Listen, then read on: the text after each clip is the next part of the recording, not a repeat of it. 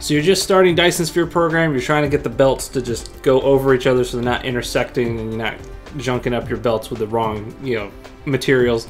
Hey guys, thank you so much and welcome to Dragonmore Gaming. I'm Daniel, aka Dragonmore, and wanted to switch up the format and uh, try to answer some questions that I've seen, uh, you know, on Reddit, uh, and just really try to help out other guys, the other gamers that are looking to, to play Dyson Sphere program. So. I don't know. Maybe I'll call this segment uh, "Ask a Dragon," right? So Dragonmore. Okay. Uh, so let's get into it. So the uh, the question uh, that I see on Reddit is, uh, you know, can I make conveyor belts go over one another? Uh, so this from CSCW on Reddit, who asks, you know, very new to the game and can't for the life of me plan anything useful because I can't figure out how to raise conveyor belts and have or have multiple connections leading to one place. Okay, I've seen screenshots here of people doing this and other things, but I don't know how. Help? Uh, so I wanted to make this uh, for you, CSCW, and uh, and for those that are just you know getting into the game and really want to like learn how all this works. So I guess, uh, so let's flip over and just uh, show you here in the game. So this will be uh, you know, my game, so it's a little bit further along, but I'm going to try to use the the intro materials here. And here we go. So take your belts right? And so you know you just you know left click, drag your belts, and okay, I have a few more drones maybe, but if you hit X and hold Shift, you can delete things really fast. That's a nice little tip. But if you want to have things you know vertical up and down, all you have to do is you start, um, yeah, left click, and as you drag, you can hit the up arrow key, and it'll make the belts go up. And the same way that you can have it continue on, and you can have it hit the down arrow key and it'll go down. And you'll notice that you have to make sure that there's enough room for it to flatten out before it actually will turn if you want it to turn. Okay. So this is an easy way if you want, if you have multiple goods. Now you can see I've, you know, it's on the ground level, so if I do this, you'll see it's actually going under. So that's just the simple way, just using the up and down arrow keys to have things go up and over. Now, the problem, and maybe you know, maybe what you're asking also, and what I've seen other people have issues with is uh, if you want to try to connect uh, to a belt, or you're trying to get around a belt uh, that's already going somewhere. So you're like, I want this to be on top of this belt. You know, how do I do that? So you know, like if if you hit the up arrow, like I've hit the up arrow twice, but it still shows that it collides, right? So, but if I if I move off, you can see, okay, well now it's showing it's it's the correct thing. So like if I do it way out here, maybe that's okay. But if I want it to go somewhere over here, yeah, if if you're hitting the if you're moused over a belt, it doesn't work. And when you have a lot of belts, this gets unfortunate. So the easy thing that you can do uh, shows on the right uh, the uh, so it doesn't really tell you what it means, but holding Shift, so it does not snap. So if you hold down Shift, it doesn't matter where you put the mouse, it doesn't snap to the other belts. So I just hover over any of the belts, but as long as I'm still holding shift, bam, now I can build over top of anything, and they don't intersect.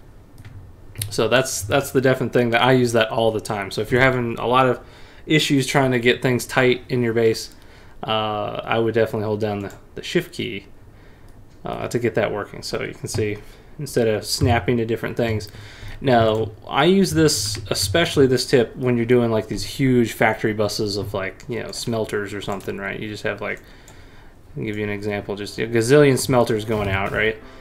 And uh, I have done things where I do so many smelters in a line that the belt isn't fast enough, right? Especially in the early game when you're using the uh, these Mark 1 belts, they only carry six a second, right? So this is more than six smelters, right? And just to give you even more of a thing. So only the first six will get the goods if you're just using these little Mark 1s. The, a little tip that I like to do is if you have the belts coming in, and the first six will get the goods, and then what you do, so one, two, three, four, five, six, so you delete one of the belts right there, and so again, just imagine that there's sorters going in. I'll just place them just so you can see. You know, I can just shift click this stuff. That's a nice little tip too. Now that you can copy sorters, this is so much easier. Okay. And what you do is you have another belt of the goods coming in. So say that there's a belt going in here, and I have another belt, and I'm going to use up arrow, raise it over top. And again, you don't want it to snap. You're like, okay, I want it to snap here, right? I want the second belt here. Again, hold down shift so it doesn't snap and do it like right over the last belt. And then just left click here and it'll snap to it. So now you have the same goods going in and these first smelters will get all the stuff that it needs. And then the second belt comes in and just dumps right over top of it and then now lines up perfectly with these belts. Okay, so there you go. So that's uh, that's how you can get you know much closer in on your base and uh, uh, you know having those belts going over top of each other. Uh, so the other question about merging. Uh, so there's a few different things about merging. I'm going to show you. So say we have the output of all these goods now. Let me get rid of that. I'm trying to use just Mark 1 belts. Okay. So I have a whole bunch of belts, and I have a whole bunch of stuff like over here that I want to come and just give represent. I got some stuff here, and maybe I got some stuff here. So I don't recommend doing it this way. I'll do maybe another video if you guys want to see as far as like how I do my factory setups. But let's just assume that you have this represents some goods that are coming this way. Let me do mark ones just because. And I have stuff coming this way. So the the first and easy way that I mean, uh, so trying to answer your question, you know, belts. You know, if you've played other games like Factorio, you, what it's very simple that you just you merge the belts by just clicking on one and just having it run into the other one. And so that's what it looks like. So even if it doesn't look necessarily correct, you know, depending. You're like, okay, is that is that working? It just dead ends, but it does it does work now. Just to give kind of a quick example here. So I'll put down a little box and a sorter. And then let's put some stone in there. Oh boy, and we need power. There we go. Look. Of course it's dark, right? So this, this is gonna barely work, but that's fine. So you can actually see the stuff coming out. Now let's use something more visible like titanium. Okay, so you can see that the uh, the stuff comes out, and uh, yeah, it just merges on the, the belt, and it'll just carry it along. Now, if there's other goods coming from another direction, they'll just uh, they'll merge together, right? So uh, just to show you this way, I have another one here. Have some temporary power over here. Okay. So you can see it's kind of, it's getting backed up, right? I just ended the belt over here.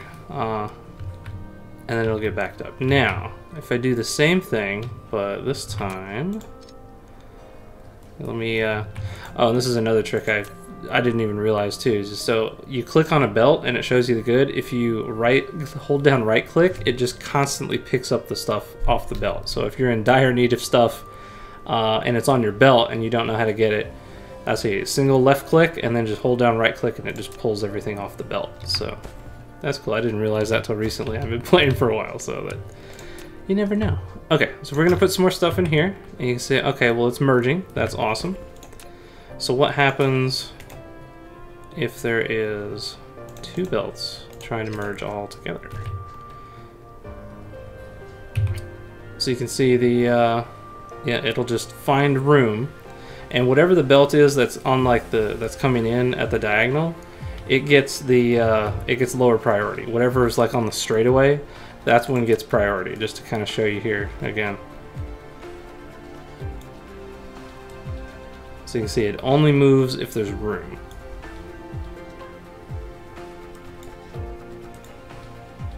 So I can just slowly take this way.